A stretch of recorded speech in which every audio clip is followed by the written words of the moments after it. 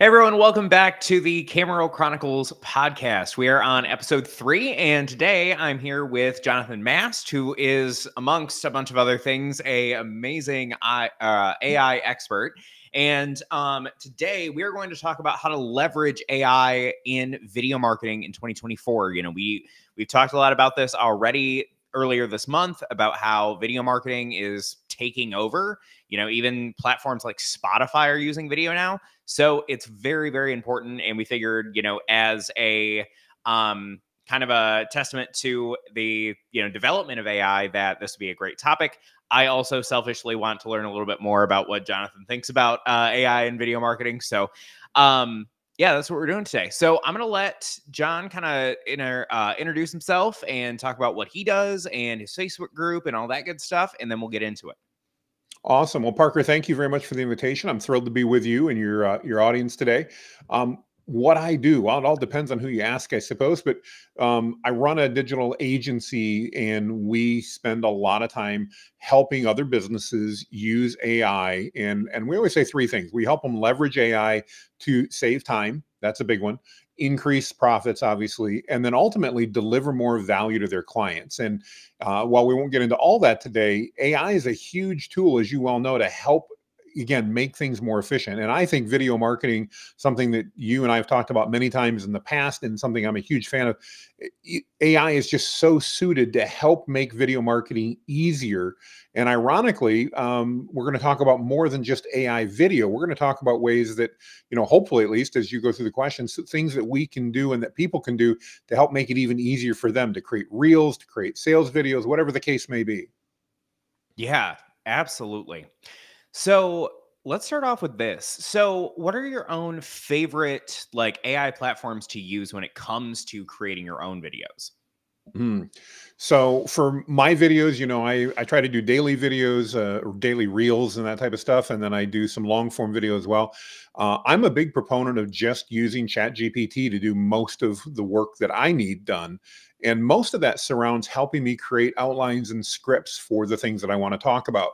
Um, I tend to just kind of ad lib. That's the way I like to go, but I do still need to get my thoughts in order.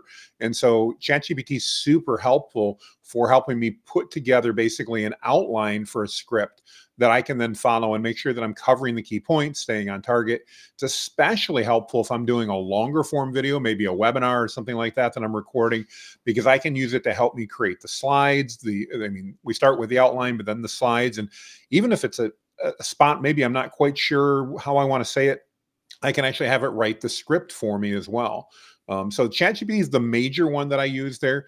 There are some other AI type tools that I would say re relate into that. Um, from an editing perspective, I love to use Descript. I don't know if you've ever heard of that or used. I'm sure I know you've heard of it. Never mind. Of course you've heard of it, um, because it, it's and and again it it doesn't come as close to professionalism is what you and your team can do but if i need to like on a on a quick reel or something pop it up it's really easy to do that and i can edit like i can in a word processing document so i like that. And for scripts when i do bring my scripts up um, i tend to use an app called d or i'm sorry not descript i use an app called BIGVU for that uh, and BIGVU has a lot of ai features built into it but essentially I use it as a teleprompter uh, and then record again if I'm recording a reel or whatever I'm trying to record that from my phone or whatever it's really easy for me to do that. The the thing probably more than anything else I like about it Parker is you are so focused on creating amazing videos that tell a story and leveraging video marketing but when your team's not around to shoot video of me it's sometimes I've got this idea, this lightning bolt that I want to get.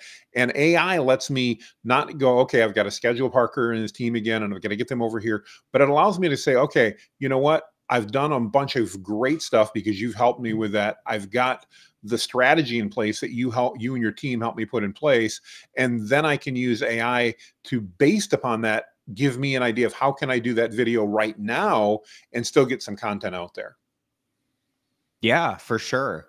And for um for those of us who don't know what Descript is, um can you kind of cuz I I remember a little bit, I haven't used it in a while, but um just basically like explaining, you know, yeah. what um what Descript actually does.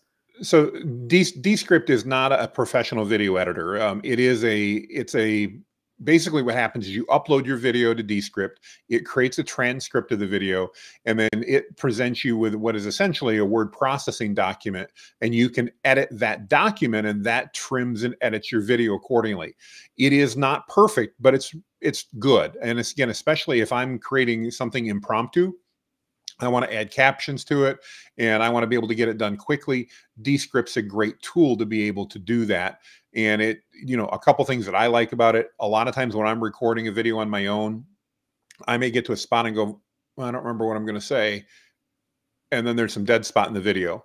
And with Descript, I can just go in and say, please remove all like silent sections that are more than half a second. And literally like that, it does it. So based on the way I record, it's I find that really helpful uh, for the way I do things. And again, it's it allows me to quickly turn things around when I need to do that. Is it appropriate for every type of video? No, I wouldn't want to necessarily edit complex videos with it. I certainly wouldn't want to do my sales videos and that with it.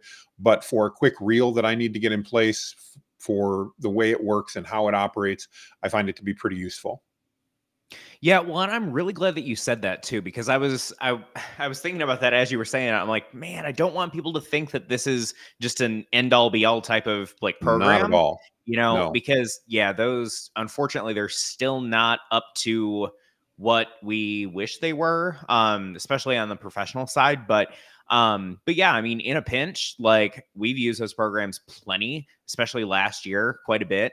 Um, just like you said, you know, and the stuff that I'm filming like with my own phone, you know, and I don't take the time to, you know, be here in the studio and like set up a camera and all that good stuff. Um, it is just a very nice, like quick, easy thing. And I want to talk about that a lot today because I think there's there's a big misconception around the the uses of AI and mm-hmm. what it's actually good for as opposed to what it's not. Um, mm. But my, you know, that kind of leads me into my next question here is, you know, everyone thinks that they just need more ideas for video. And it's super, super easy to just punch into ChatGPT or Bard or, you know, one of those like programs that spits out a bunch of info Absolutely. on a prompt that, you know, you could just say come up with 50 ideas for for videos for a company in my niche but as an AI expert yourself, do you think that there's a a right and wrong way to go about that? Mm, it's a really good question, and and yeah, I do. I think there's a big difference in there. I think, you know, AI is the prime example of garbage in, garbage out. If you give it garbage prompts, if you give it garbage information, you're going to get junk back out of it. You're not going to be happy with it. Virtually everyone I've ever talked to that said, "Oh, I tried ChatGPT, it sucked," or "I tried it, and man, I the stuff I got out of it was terrible." And I'm like, "Well, what did you ask it to do?" Well, I asked it to write me a video script. Okay, what context did you give it? Well, I said, please write me a video script. Well, of course, it's not going to know what to do because it doesn't know one, who you are. It doesn't know what you sell or what you know about. It doesn't know who your audience is. It doesn't know the tone you want it to take. It doesn't know any of that. So I really encourage people when they're using tool AI tools, remember it's very much these were these were designed as large language models very much to be conversational type tools and you need to communicate with them. It's called prompting but you need to communicate type voice whatever in the same manner that you would with somebody on your team that you were working with. So if I had a copywriter on my team, Parker, and I wanted them to help me write a video script for a reel idea that I had, I wouldn't just go to them and say, Hey, I've got an idea for a reel, write me the script because they wouldn't have any idea what to do. So they the difference is ChatGPT, because of the way it's programmed, is going to assume in 99% of the cases that it should just try to figure it out as opposed to asking you questions back. And so it's going to try to figure it out. And it's probably going to get it wrong and not do a very good job. So one of the things I love to do, and, and this is hopefully one of the many tips I can give today, but whenever you're done typing your message into ChatGPT, end it with if you need additional information, please ask and allow me to respond. That's it. That's huge. Because then all of a sudden you've given ChatGPT permission to go, okay, Jonathan asked me to write a reel. I don't know who to, I don't know about what, I don't. So it'll then say, So, who is your target audience you're trying to reach? What's the message we're trying to get across to them? Is there a tone and style? And often it'll ask three to six questions. You answer them, and then guess what? It will give you a much, much higher quality response. So, if you guys get nothing else out of this today, please take that at the end of your prompts, especially if you give it a simple prompt like write me a video script. Tell it, please ask me any questions you need and allow me to answer before responding. Yeah, that's awesome. And, you know, I think like there's, I guess there's this thought out there, and I'm sure you've seen a ton of it, is that AI isn't going to take your jobs, but those who know how to prompt AI are going to take your jobs. How do you feel about something like that? Um, both in the future, like, do you actually see that happening? And also, what um, as far as video marketing is concerned, how do you how do you see that tying in? Well, I, I think that's a truer statement than it is that AI is going to take jobs because I don't really see AI taking a lot of jobs. Will it take some? Of course, somebody's going to be able to find an opportunity where it took a job or whatever. I get that. Um, but most of those have probably already been taken in many ways. You know, uh, just as a good example, you and I both use scheduling tools that allow me to send a link out to somebody when they want to book an appointment with me. And that scheduling tool has automations and uses some AI in the background often to figure out what's going going on. And that means I don't need a personal secretary because I don't need somebody to manage my calendar like maybe I did 20 or 30 years ago. Um, I also save a lot of time because I don't need to go back and forth and go, oh, so Parker, would Tuesday at four or Wednesday at three work better? And you go, well, neither actually. How about 2.30? No, I can't do 2.30. So it saves a lot of that back and forth, which is really cool. But no, I don't think AI is going to take a lot of jobs. I do think, though, that it's really important if you want to continue to succeed, that you want to learn how to prompt and communicate with AI because it will open up new opportunities for you. In the same way, when the internal combustion engine came out in the late 1800s, early 1900s, whenever that was, and I'm not sure, um, history was not my thing. When that happened, within a, a certainly a generation, buggy whip plants factories went out of business. They weren't, they didn't exist anymore. So if you made buggy whips and maybe you made the best possible buggy whips, when the internal combustion engine came along, you had a choice. You could keep making them if you were close to retirement and you'd probably be fine, or you could learn what aspect of the internal combustion engine was going to change our lives and what things you needed to learn to be able to be a competitive in the marketplace. And AI is doing that same type of shift in my mind.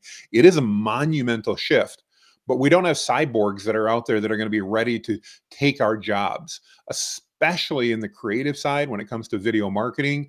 You know there are some amazing tools that are coming out and i think in 2024 we're going to see some amazing things that can be done with ai video. Uh, it's an election season. Of course we're going to see a lot of it this year.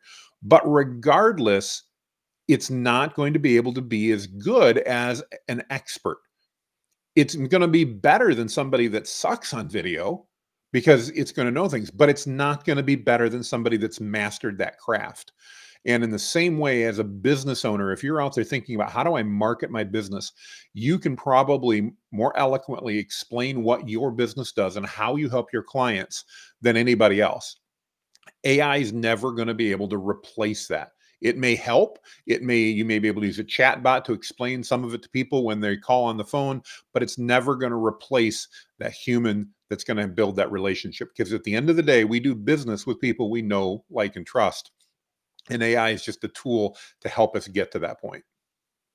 Yeah, absolutely. And you know, I've even been asked before, like, do you guys use any sort of like AI platforms? Or like, I thought that you guys used AI in order to write all of our prompts and stuff and like that's that's one thing that i'm never uh, well i don't want to say never but i don't think anytime soon that i will be willing to trade my team for an ai tool to help me write all this content because i i also think that you know there is a lot of value in having multiple minds being able to you know curate ideas and with ai you don't have that necessarily it, it feels like a lot more of a i guess i'm like more broad brushstroke type of you know thought that it's giving you because it's pulling from so many different sources that it Mm-hmm. seems very general whereas you know we have people on the team who are used to creating all of this these types of content. They've seen what works and what doesn't and Mm-hmm. why. And you know ai can't predict the behavior of our clients like we can. So you know i think that's also very important. Um so what are some of the misconceptions that you think people have when it comes to ai tied into video marketing Well, I think you, you just dealt with one of them. And I think that a lot of people think that I don't need a professional anymore. I can just go ahead and have AI write my script for me. It's kind of like the Pareto principle, if you've ever heard of that, that 80 20 rule. Mhm. Um, AI can probably get you 80% of the way there, but unfortunately, that's only, only going to appeal to 20% of the people. And, you know, is that better than not doing video marketing? Yes, it is. Is it better than the video marketing done by a professional? Absolutely not. You know, whether it's it's you and what your team does, or even just working with a, a competent digital agency, th- their ability to understand your audience and understand your business at least in the foreseeable future is never going to be replaced by ai ai simply doesn't ai is a- it- the world's biggest encyclopedia. It has all of this knowledge but we have to remember that it also has conflicting knowledge because if you've ever gone on the internet and done a search i'm sure you found there are different sites that have different information and disagree.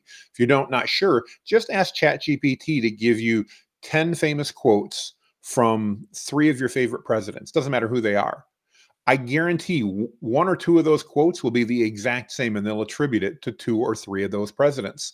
Can be a famous person doesn't matter. Why? Because ChatGPT has been trained on this vast ream of data and within that vast ream of data it probably said i'll just pick three that come to mind right away that you know bill clinton jimmy carter and barack obama all probably said the same quote at some point and therefore it was attributed on some web page or in some document to each of those individual presidents and so if you ask ChatGPT, did that come from there? They're probably, unless they have definitive knowledge in a document that says otherwise, they're going to say, yes, they all said that. So, okay, that didn't help me. On the other hand, if I was sitting at an inauguration and I heard that, now I know, okay, I heard that said, and I know it was the first time because maybe in my case, I'm old enough, just barely, but to remember when Jimmy Carter got elected president, I may be able to go, okay, I know he started it because I heard it from him first. But AI is it's an encyclopedia. It like you said, it knows so much information. Sometimes it really struggles to drill down to specifics. And you can spend hours prompting AI sometimes and still not getting what you want. Um, I do think it works pretty good for idea generation, but and brainstorming, but it's a huge asterisk. We have to make sure that we're telling it how to act when we do that. So if you know, if I'm my business, I'm a digital marketer. If I want it to write video scripts for me, I need to make sure that it understands that I am a digital marketer and I sell the following services that provide this this type of value to my clients and I work with these types of clients. Now I can brainstorm and it's going to help. It's again, we still need that professional but most people don't want to take the time to do that. I think Parker, the problem is everybody looks at AI as an easy button. It's not an easy button, it's an easier button. In other words, instead of taking maybe a day for me as a non professional to write a video script and do it well for maybe like a video sales letter that might be a 10 minute video sales letter, I now can probably do that in four hours. The difference is that you and your team, with your expertise, were able to do it in three hours before we started Yep. and probably do it better. And so, does that make sense? Yeah, absolutely. You know, and that's like I've been thinking about that a lot, especially having to like write these questions and stuff for this podcast. Like, how many people are using AI in the wrong way and giving it that, uh, I guess, that reputation of just being Mhm. the easy button when it's not at all. Right. I, I think a lot of people are. I think that's probably more common than not. And again, that's why I want to encourage you give it more information as a general rule. There are exceptions, but I, I wouldn't walk up to an assistant and say, you know, I need to write an email to Parker, take care of it. I right. would walk up and say, you know, um, Parker sent me an email about being on his podcast, and I want to confirm that we can, I can make it, and I want to ask him a couple quick questions. Here are the questions: one, two, three. Can you craft an email for him and and reach out to Parker? Now my assistant can do that. But if I just go, yeah, uh, Parker asked me to be on his podcast, send him an email. It doesn't know about what, it doesn't know the purpose, it doesn't know when. Even in my first scenario, my assistant's coming back and okay, when is the podcast? You know, how long is it? they're going to ask questions to help clarify. And again, AI is not programmed by default to do that. Yeah. And and I think a lot of the stuff is going to all come back to like giving AI permission to give you feedback. Like Yeah. That I'm I'm still sitting here like mind blown thinking about all the different things that we could have done so much better when when trying to generate ideas if we would have just said that at the end. yeah. Oh, ab- absolutely, absolutely. So, how do you see AI kind of changing the way, if at all, that people make videos on social, in particular for marketing their businesses? Hmm. That's a good question. Um, I guess you know probably the, the, the biggest area that I see it making a difference, and if I'm not hitting what you want, let me know. But the where I see it making the biggest difference is, I, I think AI can help people get started. If they're not doing video marketing today, I think it's a great way to to kind of kickstart that process. Because again, I'd rather see somebody do an AI video script and reach 20% of their audience than not do video marketing at all and i think that's something that so many businesses struggle with right now is they're just not doing anything at all because they don't know where to start does, does yeah. that answer your question or am i missing the point which it's perfectly okay if i'm missing it well, so I I was kind of digging more at um at like programs and things like that. Like, you know, oh, is I'm there sorry. anything out there that you think is going to completely change the way that you know entrepreneurs are creating their own content but i also feel like we we kind of touched on that with um like descript and learning how to actually create prompts that give you ideas that are usable um mm-hmm. but if there's anything i guess there's anything else that you can think of that has you know made video way better or if there's something like in the works right now like a beta project that you know, if finalized, gotcha. could be very good. Um, there's nothing that I'm aware of right now that I think is going to replace us. Um, so you know, I'm I'm a huge fan of video marketing. I think that it's so incredibly important in everything that we do. Um, there are tools out there like HeyGen and D slash ID and, and a number of others, and I, I couldn't begin to name them all. There are a number of those tools out there that can do a lot. The problem is, is that those are going to be best suited to somebody that doesn't like to do video, that doesn't want to be on video and goes, I'd rather just take a headshot or record two minutes of video and let AI figure it out because they're okay with basically getting part of the way there, not all the way there. Um, I'm, it, it kind of reminds me of you can feel, you can fool some of the people some of the time, but you can't confuse all the people all the time. I think really think that's where AI videos are going to be at. You're never going to get to the point, and, and I'm pretty confident with never that you're going to be able to confuse all the people all the time. But I think a lot of people are going to rely on the fact that they confuse, can confuse some of the people some of the time, and they're going to go, well, that's good enough. That's a really interesting point so, and I'm actually, you know what? I'm going to skip ahead a little bit then because I think I think this is huge. So, you know, we talked about this the other day about how um, you know, AI programs are coming out that can they're they're essentially deep fakes you know right. and and they're show like they're showing for example like if this were a talking head video i could record myself saying a bunch of different um, you know, sentences and phrases and things like that. And there's programs out there that could legitimately take my image and what I'm doing and my mannerisms and everything and create a passable video that says different words every single right. time. Like I I've seen this being used mainly in onboarding and like automation content when you're, you know, onboarding a new team member or even a new client, you you know, you can customize it to their name and make like their mouth look like it's moving in the right direction and you know, stuff like that. And I just I don't know. There's there's a lot of people that have talked about like you know the the possibility of stuff like that. You know, starting a third world war and you know a, a bunch of crazy things like that. So, what I guess what are some of like the dangers that you see in that? Hmm, that's a good question. Um, are there risks associated with AI? Absolutely, there are. If for no other reason, that's one of the reasons I think that that we all need to get involved with it because the more we go, oh boy, I don't know, I'm going to stay away from that. The more likely that those with nefarious intentions are going to take and go, cool, they're not paying any attention, and I can do it.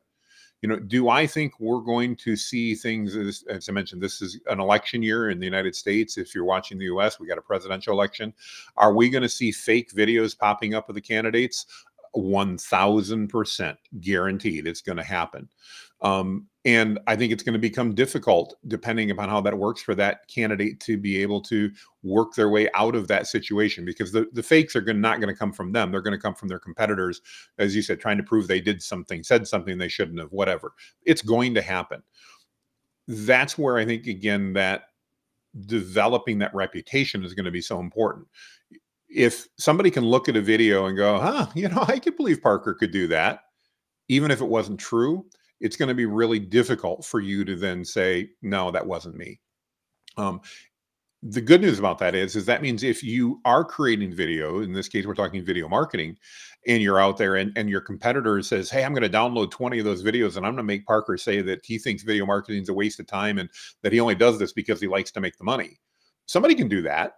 But if you have enough other video out there and that video comes out, even if it gets picked up and becomes viral, you're going to be able to go, look, do you really think that's who I am? And 99% of the people that know you and eh, or even are aware of you are going to go, no, that's not Parker. It may look like Parker, it may sound like Parker, but that's not Parker.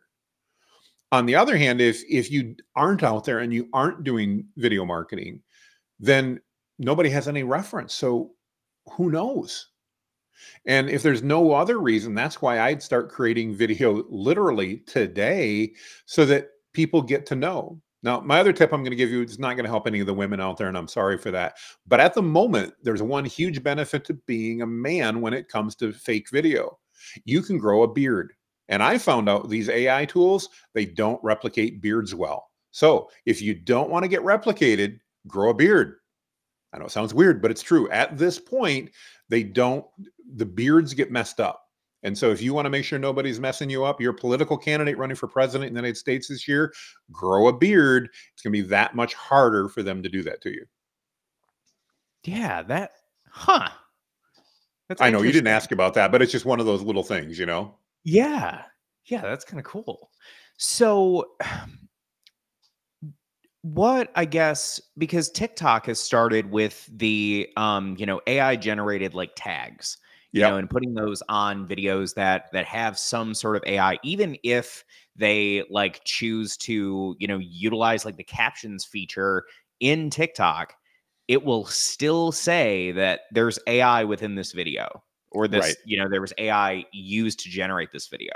So do you see like all platforms going to that or do you see it just kind of being what it is now and maybe even you know is there something that we're not seeing with that that could help these platforms but not us I think that right now you're seeing a lot of people trying to cover their butts to be careful to make sure that they're doing everything they can say that you know we, we tried, we tried. Um, it reminds me not too long ago, there's a tool out called GPT Zero that's supposedly be able to tell if if text that's been written has been created, excuse me, has been created with ChatGPT or not. Uh, that's why it's called GPT Zero. A lot of schools use it. My son's school uses it. He's in high school. And recently I had a conversation with one of his teachers and and fortunately not over a problem or anything else, but I was taking the position that I really think educators should be teaching our students how to use AI effectively as opposed to taking the no, no, no, it's evil. We're not going to go there, which is what a lot of educators seem to be doing. Uh, and if you're on the other side, I'd love to talk to you, by the way. But anyway, we were talking about GPT zero, and he said, you know, we really don't use it to check papers, but we put, we put it out there that we're using it to hopefully dissuade students from using Chat GPT. And I said, well, I'm glad to hear that. I said, have you guys ever read the disclaimers that are part of GPT zero? And I have because that's the the industry I'm in. And they're like, what do you mean? And I said, well, it says in the fine print very clearly that you should never penalize a student that Chat or that GPT zero says wrote this with Chat GPT because, and I'm paraphrasing, because we're guessing, we don't really know. And he goes, I didn't know it said that. And I go, it's right in their service agreement. And I think what's going to happen to answer your question, I know that wasn't really part of it, but I think what's going to happen is that over time, people are going to assume that AI was used in video, in photos, in whatever, in one context or another. And that's just life. And before everybody goes, oh my God, the world is ending. What am I going to do?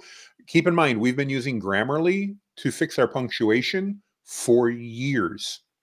We've been using spell check and word processors for over a decade. And that, folks, is a very simplistic form of AI.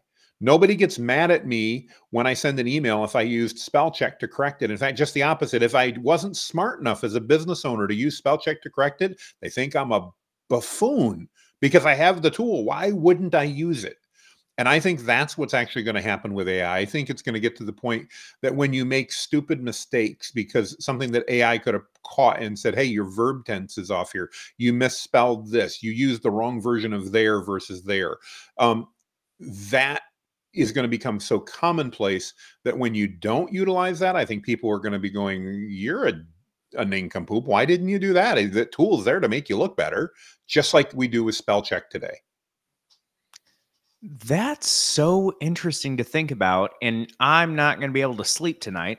Um, like that's insane because that's so true. But we are so used to using those tools, like I could not make it through a day without spell check. like, that makes two of us, not a chance. You know?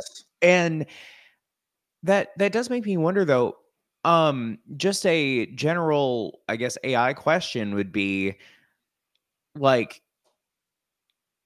how do you think we could have done things different in the marketing of AI, you know, and what it's capable of to not make everyone so afraid of it?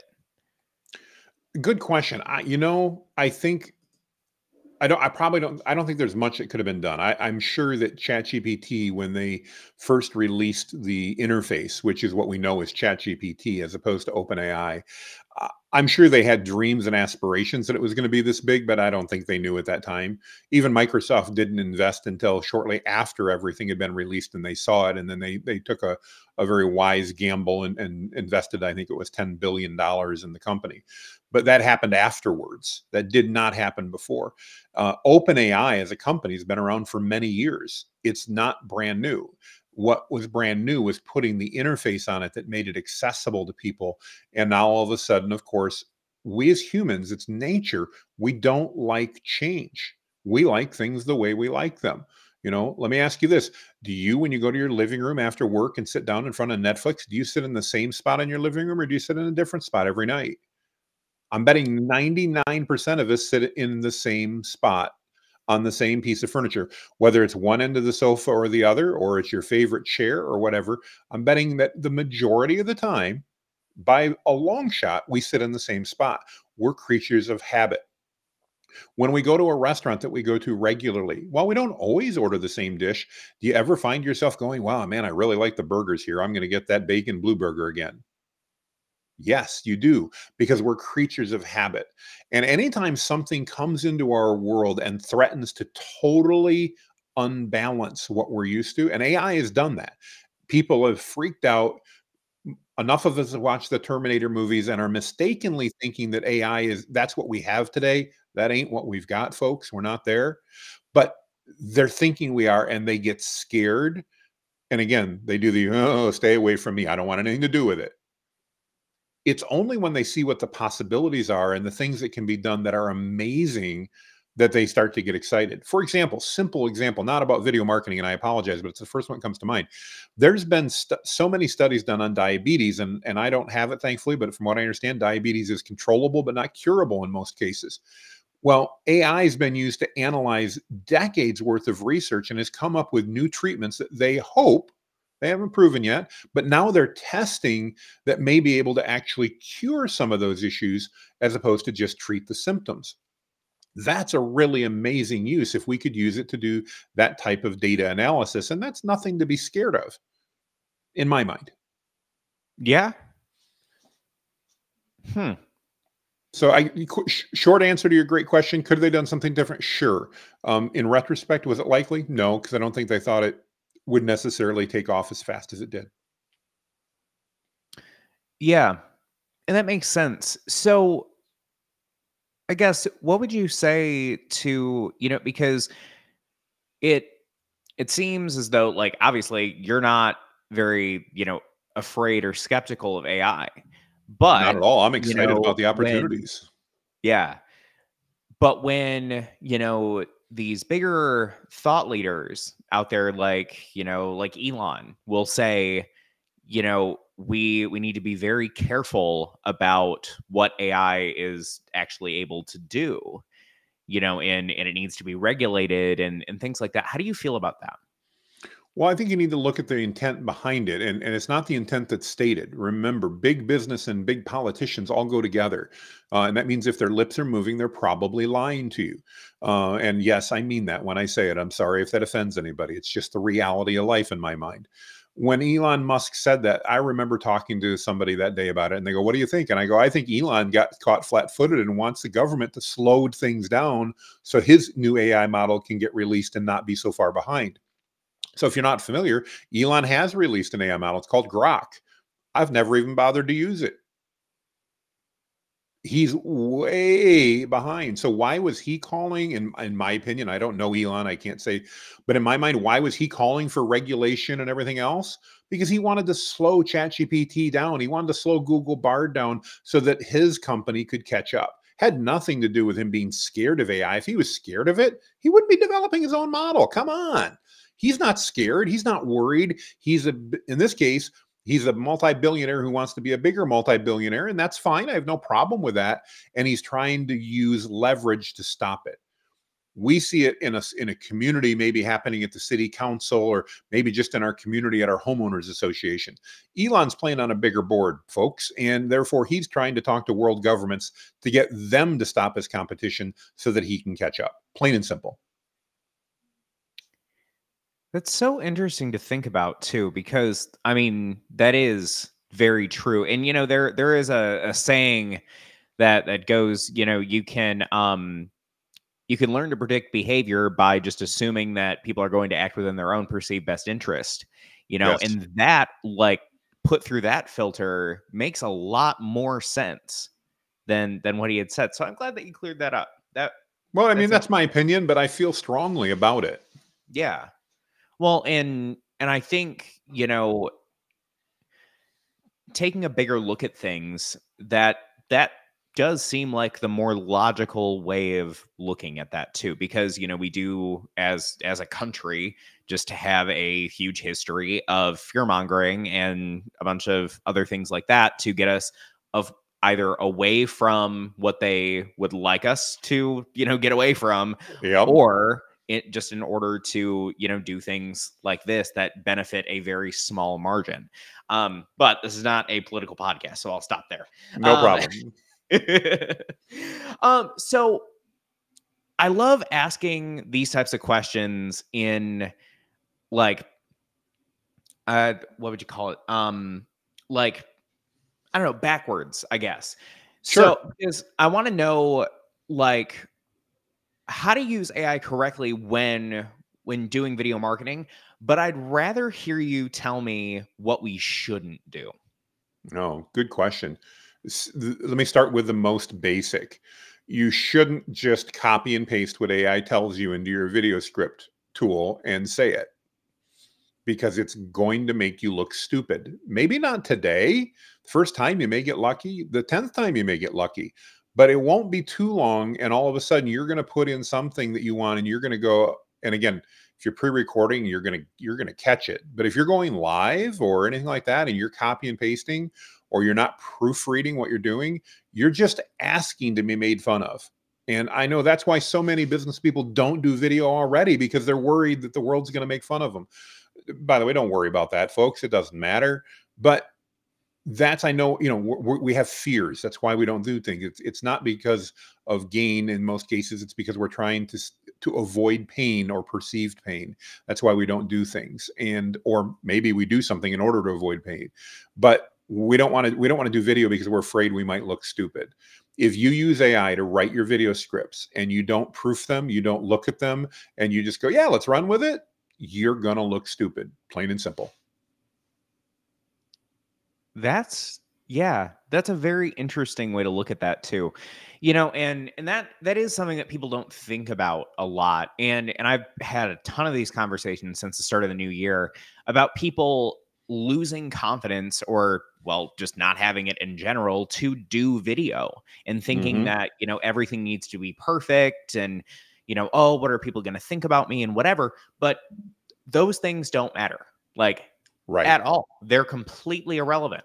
You know that guy in your comments section who's talking a bunch of crap about you and your offer is never going to buy from you. Exactly. that's, that's just not going to happen. So and and they don't have any influence.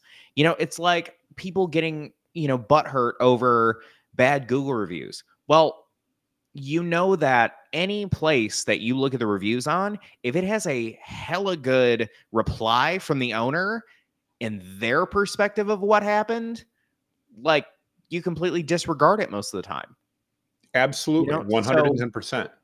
So yeah, that was a little tangent, but I'm no, it's I think it's really I, I applicable hope, though. Yeah, and I hope that you know anybody who's watching this that may be on the fence as far as getting into video marketing this year. Um, first of all, just to remind you again, Spotify is using video. If there were any time to do it, it's now. Well, actually, if there were any time to do it, it was about five years ago. But now is the next best time. I would say it's the next. Yeah, five years ago was the best, but the next best time is today. Exactly.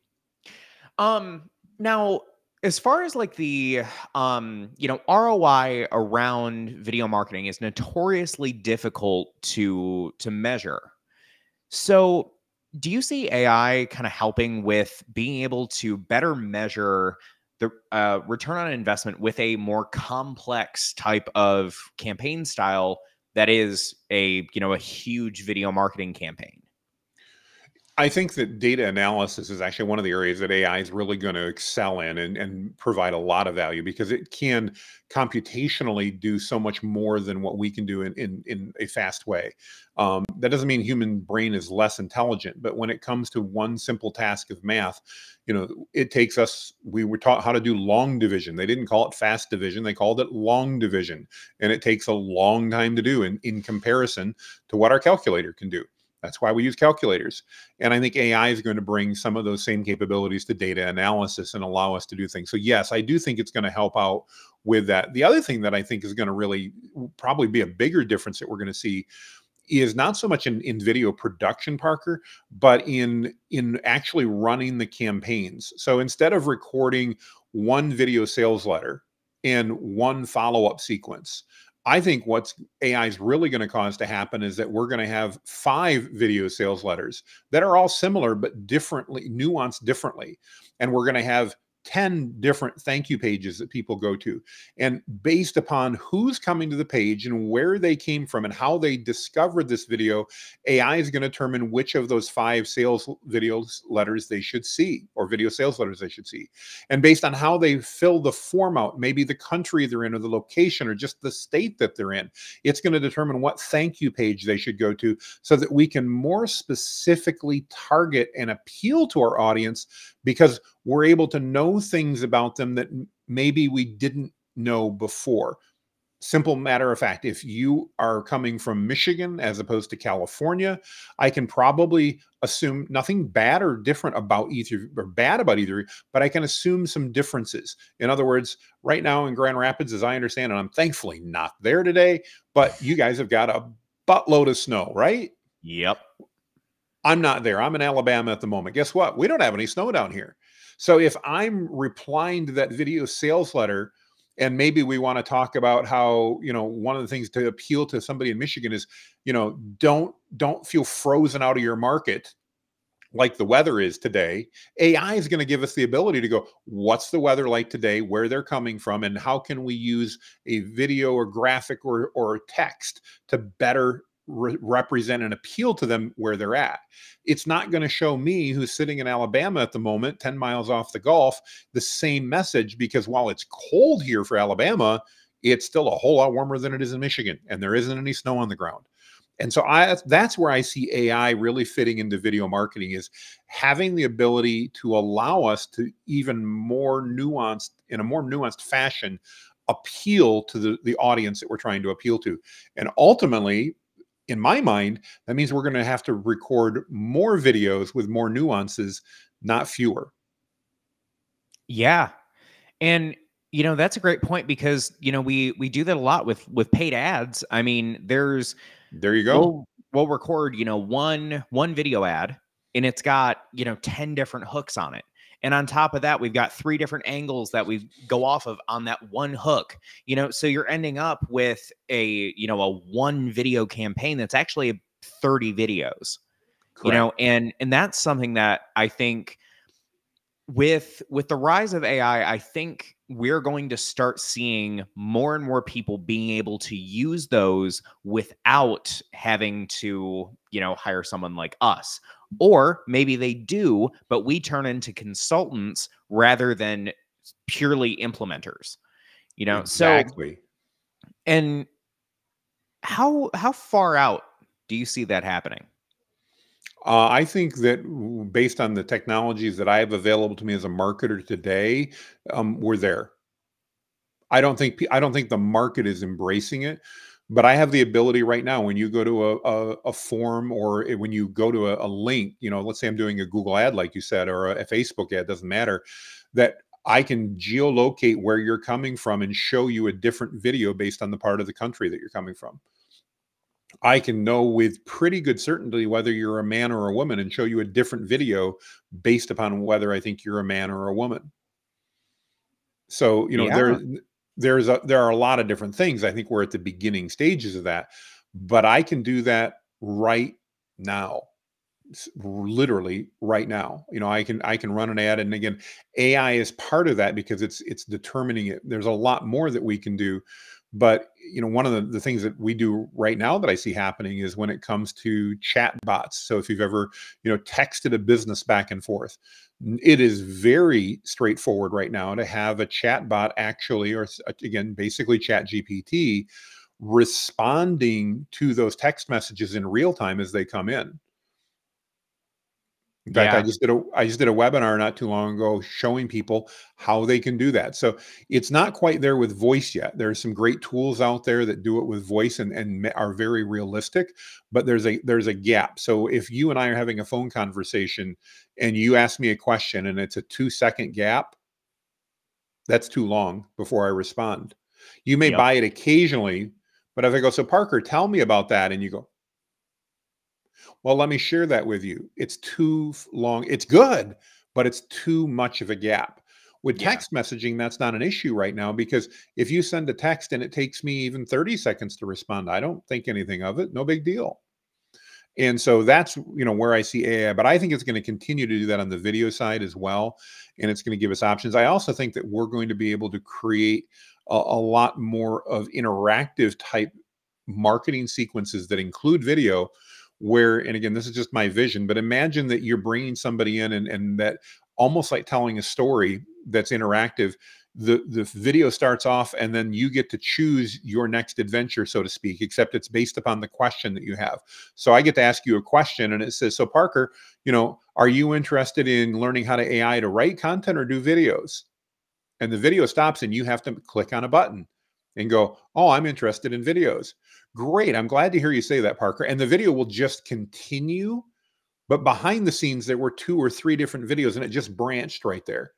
And if you had said no, the video would continue but it would now be dealing with the the no or the yes. And so I think that's where AI is really going to fit in is the ability to have that interactivity that will greatly increase engagement. And again, at that point, the other thing I hear, but we haven't talked about, and that's fine, is is you know how important is that I go viral? It's not important you go viral.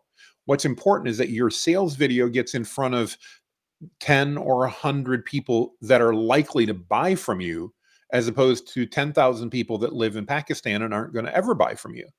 And that's what's so important. And AI gives us the ability to again cater that message. It's probably the, the base here to cater that message to the person on the other end of that that conversation. Yeah, because like we're even implementing VideoBot this year on the website, which mm-hmm. is mm-hmm. exactly what you just talked about. It's a video that would be set up just like this and it says, you know, hi, what can I help you with today? And then it's got a list of different questions you can ask. And it mm-hmm. does all of that. And it's stupid cheap for what it is. You know, exactly. so yeah, that that's huge. And I would almost I would almost even like to see something like that. So have you seen um I think they're called like uh video boxes where it's like a little mm. like tablet that you mail to oh. someone I've gotten some of them. Yeah. Yeah. Like if we, if, if someone could figure out a way to do that, but have it be like in that kind of a uh, FAQ style like format, I think like that as a marketing strategy, like especially if you don't have any like well, I'm not going to say any, but if you don't have enough money to, you know, let's say hire a digital marketer like yourself or hire in, you know, a whole video marketing department and stuff like that, that a sales aid type of video that has all of those different pathways, one is so different that I mean, you have to call the person back. But also Absolutely. like I I think that also could even help pre-qualify people especially if we found Absolutely. out a way to you know program that and like connect it to you know your database back at home and see like what types of questions they asked you know and and what things are they are they interested in learning about you know and stuff like that that in and of itself could get rid of customer surveys you know so it's it is really interesting to think about all these different you know advancements that we can make with tools that we already have and i you know that's one of the main reasons that i brought you on today was so that we could talk about those things. Um so i'm so glad that the the conversation's gone where it's been. Um so what um i guess as far as the future is concerned what are what are some things that you see happening that could definitely help with video marketing, but also, um, you know, what are what are some types of you know programs and stuff that are already out there that you could immediately use to start leveraging AI with video marketing to dominate in 2024? Well, in my mind, again, I'm going to stick with the basics, Parker, and I really think the best tool that you can use right now is ChatGPT.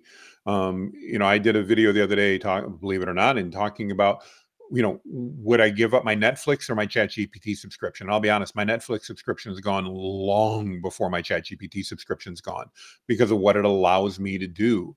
And as a business person, if, if nothing else, if you just want to use it for brainstorming or ideation to understand what should I do next, you know, we've all as business people got, okay, I've got this idea, but I'm not really sure where to go with it. I'm not sure what to do next.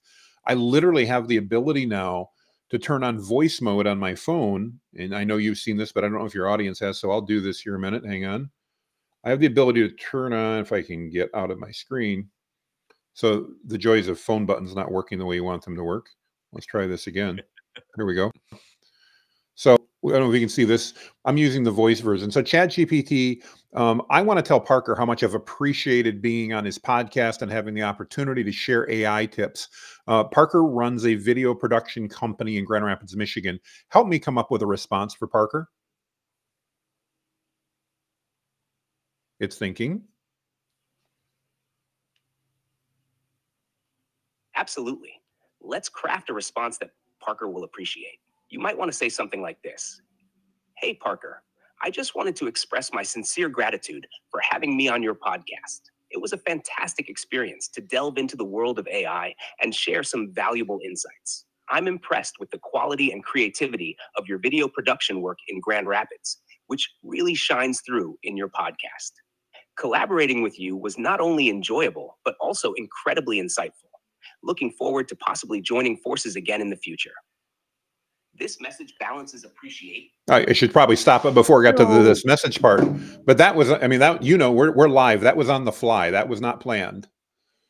Yeah, and that's so. Not only that is insane to me, but how like human like the voice talking back to you sounds. Yeah, and like, that's just a stock voice from ChatGPT. So again, why that tool? Because I think it gives you so many capabilities. It, it, has so much. It has access to the internet. So you know, with a paid subscription, and you spend the twenty bucks a month, and you have a question, I can, you know, I can have it go read a news article uh, and give summarize it for me. I can have it do that. Maybe I've read something that's new to AI. I do this a lot when I'm creating social posts. I'd love to say I have all of these ideas of myself, but I'm not. I'm a voracious reader. So I see a news story and I'll go and I'll say, all right, here's the link to the news story. Create a social media post about this news story and then include a link back to it so I can give credit to the author and it'll then craft something. Now, do I just copy and paste? No, I edit it. I do take a look at it. But as opposed to going in and taking what would probably be 15 or 20 minutes to write that, I can do the entire thing in five. And when it comes to video marketing, I think again, the ideas that we want is really where I think ChatGPT as a main tool can really be helpful to all of us right now I, I think it's too early, very candidly, to try to use the AI tools to make video on your behalf. There are people that will disagree with me. Um, I'm sorry, it just it, with humans it doesn't work, especially with guys with beards. It just it, it's too fake. Can it do some really interesting, entertaining stuff? Sure, absolutely. You want to create an entertaining video of a caricature that you drew in Midjourney, which is another AI tool, and have that come to life. In yes, that can be done right now. But part of the reason that works, Parker, is because everybody knows it's not real, and it's mm-hmm. entertaining. If I try to make it real and pass it off, all of a sudden that little BS meter that sits on our shoulder starts going off and going, uh-uh, that's not right. Something's off. It's just nope, that's not right we may wonder, we may question, but that's not what you want as a business. You don't want your prospects, your customers to question what they're seeing. You want to create and instill confidence. And that means doing video the right way, the real way. And you can use AI to help you do that.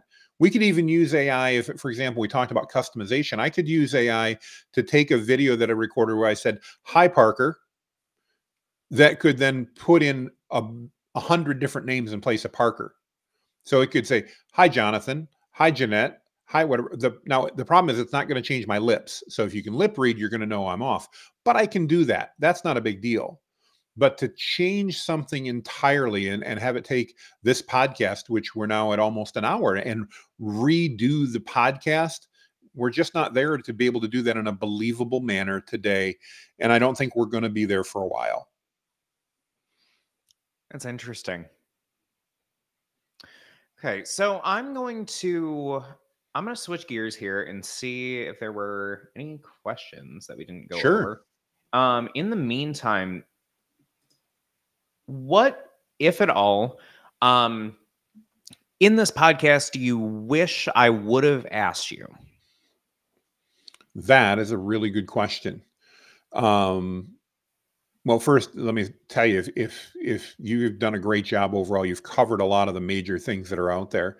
Um, I think the only thing that I would say is that we probably didn't really cover, and and this is just my perspective on video marketing, is that I really want to encourage everyone listening out here. If you are trying to promote your business, yourself, your cause, start by pressing record Parker and his team provide huge value in making sure that you actually understand what you're doing and reach your audience and do everything else that you need to do to be successful. But if you can't talk to Parker today, you can still pick up your phone, just like I did, and press record. And just like a toddler learning to walk, first, you know, that baby lays on its back and then it rolls over and then it gets up on its knees and it crawls and then it pulls that it, it, him or herself up against furniture and then it falls and it falls again and it falls again until one day they take three steps and then 3 days later they're running around the house. But they sucked at it before they started, before they got to be a master at it. You need to do a hundred videos in my mind. And Parker, I'd love your thought. You need to do a hundred videos before you don't suck anymore. So the best time, as Parker said, would have been to start that five years ago. If you didn't, or if you started a year ago and you did three, you got 97 to go.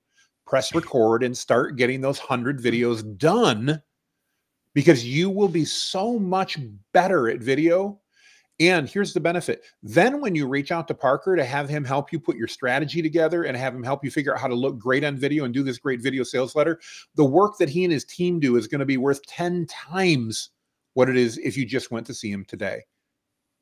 So just press record. So if there's anything, that's it. That's the only one. Just encouraging people to just start creating video today, even if it sucks, because it's going to suck at first and it's okay. Yeah. You know, and, and it would be, uh, to quote Alex Hormozi, it would be unreasonable to assume that you would be good at video marketing if you'd never done it before. Right. You know, and I I think that's huge. And I so I do like that rule, but I'll add to it. Please do, yes. Videos, and with every hundred or with with every video in that 100, you get one percent better every single time. You find one yes. thing to improve yes. every single time. There are not that many components to a marketing video. There, like you once you get to the end, probably once you get to like 20, you'll be good. But after that 100, you'll be able to, you know, hire a mm. team like us and be like, you know what? I have my own VSL written. Let's go. You know, and you hire us and we come in and we we shoot the whole thing. And it's amazing because you've had so much training being on camera. You know, like I didn't used to be like this all the time. Like I, you know, in fact, outside of this, I'm a very introverted human being. Like I you know, there's a reason I spend most of my time right here, you know, and away from everyone else. I'm with you. But I, you know, I know how to turn it on when I need to, you know, and I think that is one of the most important things. And we're getting away from, or well, I should say we're getting more into faceless video content, which I think is just frankly useless because people buy from people. They don't buy from faceless videos. Exactly. You know and and i guess if if your stance is well it's a video as opposed to not posting anything but i'd almost say yeah like just don't don't post anything because those those videos that are coming out nowadays and yes i still do them on occasion because you know they are easy um, but those videos with just B-roll and it's like, you know, some some text and then yep. read the caption and you're not even in the B-roll, like that's a problem. Like that that's not a video. That's a you know, a glorified copy pasted Instagram post. That's all that is. And exactly. I say that because it's all that's going to perform like. You know, you may get more watch time and whatever and more saves and shit, but the only people that are going to gravitate toward that type of content are those who want something for free and who will sit in your caption and read everything through 10 times and screenshot it and whatever and then not do anything with it. And I know that because I'm one of those people. I do that. Well, and, I, and I, I, I, love what you said about just getting 1% better. And it reminds me of a conversation I literally had yesterday afternoon. So I work really hard and, and I'm recording this with, with, right now. We're recording not on a bunch of super expensive camera equipment because I'm just temporarily down in Alabama. So I didn't bring all my setup. I've got a HD webcam sitting on top of my monitor. But one of the things I learned by creating 100 videos and sucking at it was that I realized I was spent too much time looking at the person, which I'm doing right now. I'm looking Parker at you on my video screen, as opposed to looking at the camera. And by learning that and seeing that, one of the comments I got yesterday was from one of my clients, and, and he's like, So I see your videos and you're always looking at the camera. How do you do that? Because I feel like you're looking right at me And it was a realization that I had to have that in order for me to connect with you, Parker, on the other end of this camera, your eyes are not where they're at on my screen. Your eyes are my camera lens. And therefore, I need to look at that. That doesn't happen because it's not natural, by the way. You have to practice looking at the camera, not at the screen. And that's why those 100 videos are so important. But that's one of a 100 things that you can learn by sucking first. Yeah, absolutely. You know, there so even when I like first got into the studio and I started filming from across my desk, I had mm-hmm. to start putting um like a like I printed out like a set of eyeballs and put yeah. that on top of my lens because really good idea. It, it's just so difficult when you're not used to doing that, especially mm-hmm. because like before then I was I also wasn't doing all that much talking head content and stuff. So mm-hmm. it just it, it was tough to keep like having to remind myself. But even even doing this, like on you know, so as I'm looking at my camera from across my desk, I have our our podcast going on right here with the questions, and then over here further is the actual screen. So right you know that's it and it's a weird thing to get used to but once you get used to it and you will through those 100 videos it's it becomes a no-brainer it just becomes second nature.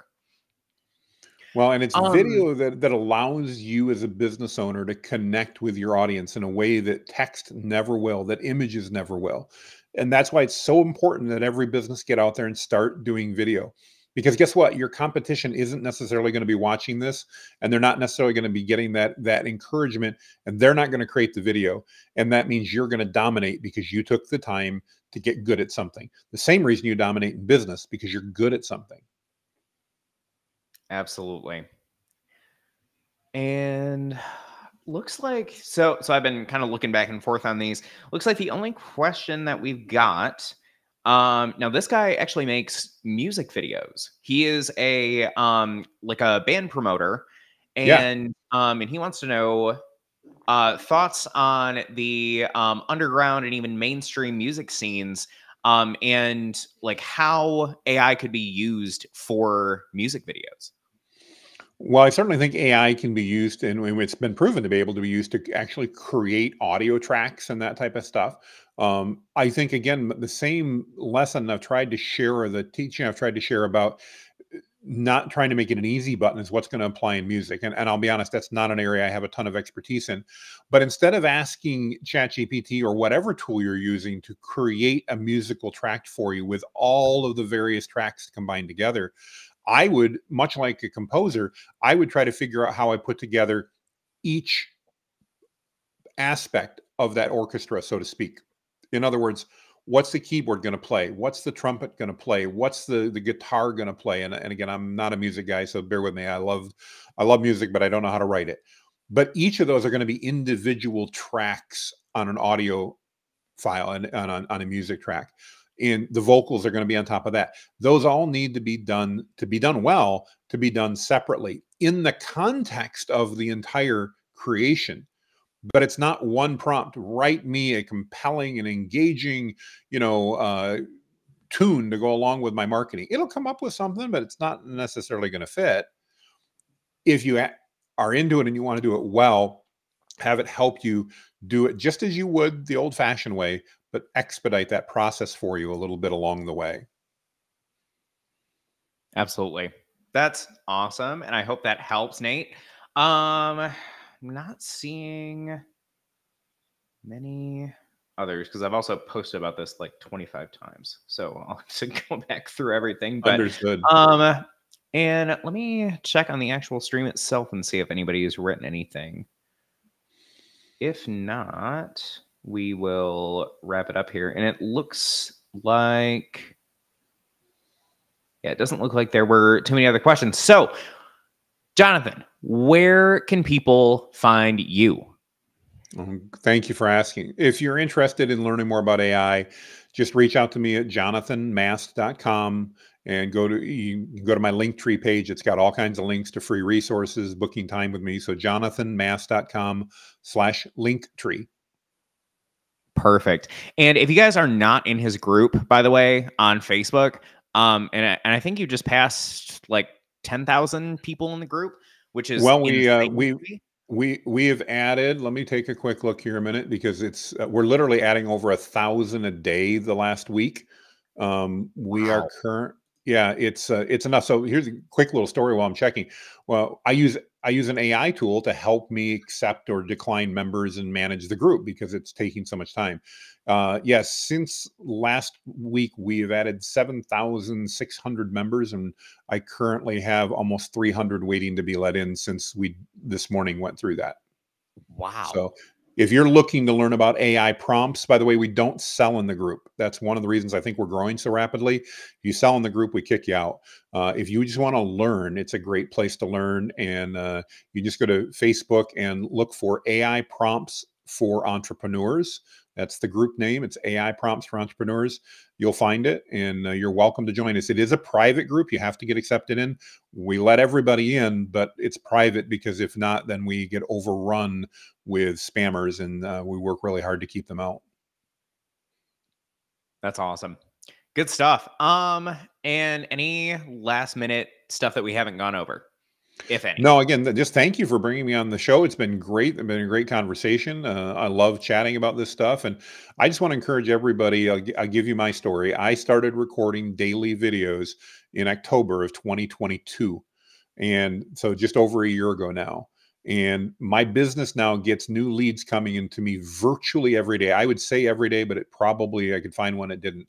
But of people that are not asking me what I do and why they should work with me but of people asking, how can I work with you? In other words, they've already decided from my videos they they know like and trust me and they're coming to me to work with me. You can do that too. Just commit to yourself to do video do it regularly and do it for at least a year because at first it's going to seem like you're crying in the wilderness and nobody's listening. Don't worry about it because it won't be long and somebody will go, you know, I've watched almost all your videos. I've never liked or commented on any of them, but I've seen them every day for the last three months. They're out there. Start producing video and then work with somebody like Parker to figure out the strategy behind it so that you can convert those viewers into customers. I love it. I love it. Jonathan, Thank you so much for being here. Um, I hope you guys enjoyed the third episode of the Camera Roll Chronicles. If you guys have anybody who you would like to see me interview or you would like me to be interviewed by, um, just let us know in the comments below. And um, yeah, that's all I got. So I'm good to go. Thanks, Parker. Of course.